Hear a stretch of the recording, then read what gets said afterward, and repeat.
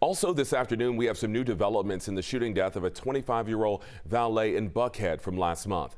Atlanta police tell us the fugitive unit arrested the suspect here, 22-year-old Randy King, on Wednesday. He's accused of breaking into cars and shooting and killing Harrison Olvey when Olvey tried to stop him. Now, Olvey was just 25 years old. His mother tells us he was getting ready to accept a job in finance and had a bright future ahead.